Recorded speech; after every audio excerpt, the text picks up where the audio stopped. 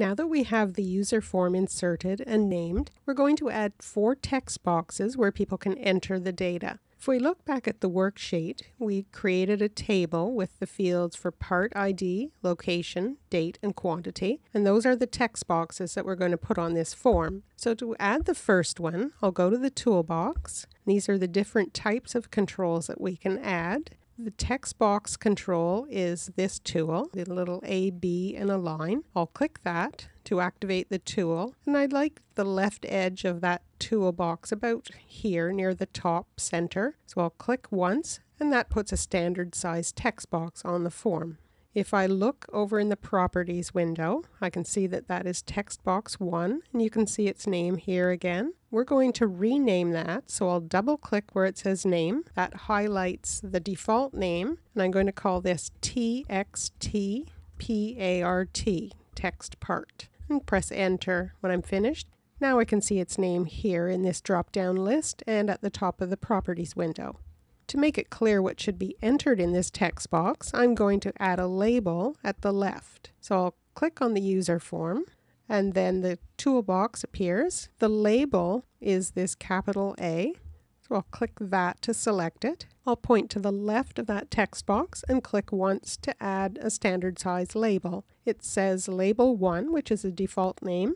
I can see its name here in the properties window, the name and further down is caption. We're going to leave the default name for this, but we'll change the caption, which is what's going to show on the form. So I'll double click the property for caption. That selects the default name, and I will type part and press enter. So that now shows part, but the name is still label 1. We need three more text boxes and labels, and I could follow those same steps and create each one from scratch. But a quicker way to create additional text boxes and labels is to point on the user form and just drag over any portion of both the label and text box. And when you let go, it selects everything that was included in that rectangle. On the menu, I'll click Edit and Copy, or I could use Control C as a shortcut. And then I'll click on the user form and go to Edit, Paste, or I could use Control V. I want those up a little higher, so I'll point to the border of the text box and just drag it up so it's closer to the part. Then I'll click on the user form again, and I'll use the Control V shortcut to paste another one.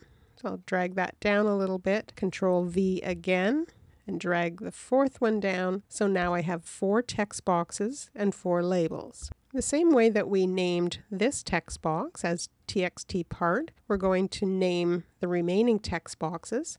So I'll click the second one, double click the name property, and this one will be txtloc. That's where the location will go, and press enter. Click on the third one, double click the name property. This will be txtdate, and press enter. And the fourth one, double click the name, txt, and this will be qty. That's where the quantity will be stored, and press enter. Now I just have to change the caption on these labels. So this one, I will change the caption to location, and press enter. Click on part, double click the caption here. This will be date, press enter. And for the fourth one, double click here, and this will be quantity.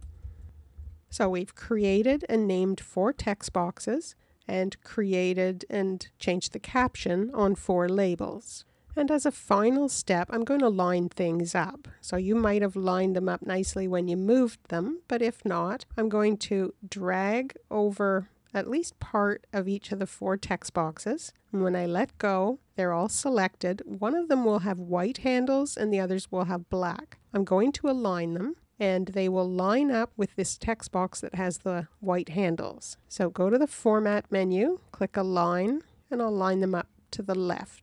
So there they are, and I'll do the same thing with the labels. Point down at the bottom, drag up over the four labels. They're all selected. They'll line up with this one, Format, Align, Lefts. So we have nicely aligned labels and text boxes, and we're ready for the next step.